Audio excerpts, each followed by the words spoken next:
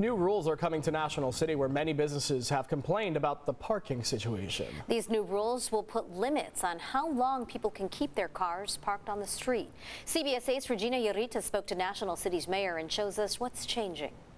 Leaders in National City have been pushing for years to grow its downtown area. It's one of the reasons why we're seeing new businesses opening up. But with new businesses means more customers parking in the area. Small businesses who have been here for years say what's not growing is the number of parking spaces.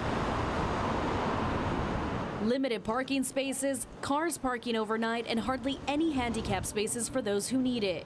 That's what customers and Mary Ellen Fraud, who owns an ice cream shop on A Street, are dealing with every day. They're hurting my business and they're hurting my elder the, you know, the ones that have been coming for years. Her shop has been standing for 75 years, but a series of parking violations, new apartments, and businesses with no additional parking spaces have drove her longtime customers away.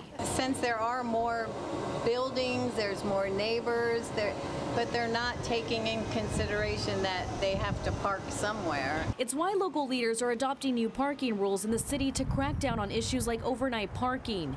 One of those rules is adding more two-hour parking spaces in the downtown area.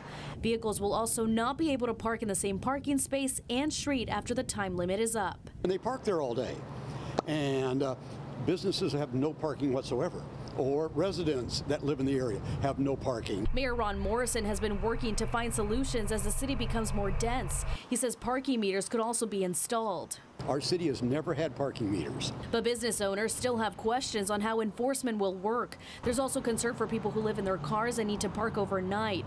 National City currently has no safe parking law.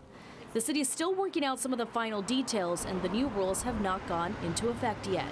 And the city is also looking into investing in enforcement technology that would improve some of the issues happening here in the downtown area. Reporting in National City, Regina Urita, CBS 8.